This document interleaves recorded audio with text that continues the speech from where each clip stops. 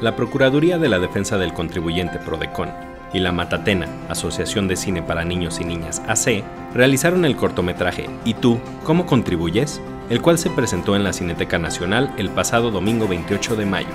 Al encuentro acudieron familiares, funcionarios y medios de comunicación quienes disfrutaron el producto audiovisual, el cual fue realizado por 15 niños a lo largo de las vacaciones de Semana Santa. El cortometraje busca fomentar la importancia de la cultura contributiva en la sociedad, además de valores democráticos como la solidaridad, el respeto, la responsabilidad, la participación y el bien común. Queremos presentarles con mucho orgullo nuestro cortometraje. ¿Y tú, cómo contribuyes?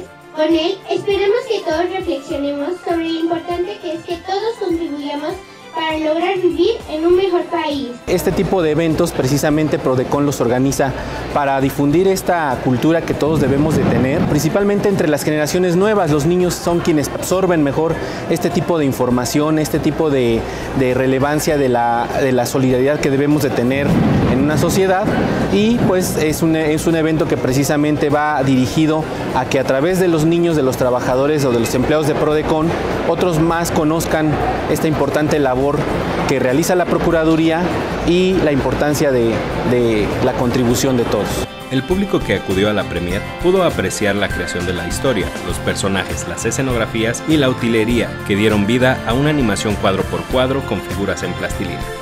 Fue así como los pequeños pudieron tener una introducción al lenguaje cinematográfico y el proceso de realizar un cortometraje.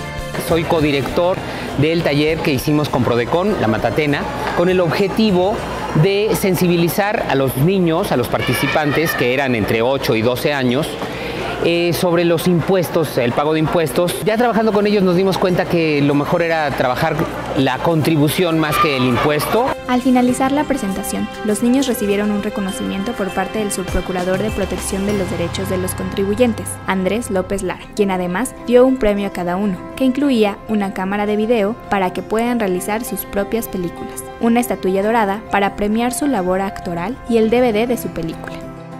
Los padres se mostraron orgullosos del trabajo de sus hijos y destacaron la labor de colaboración de los pequeños.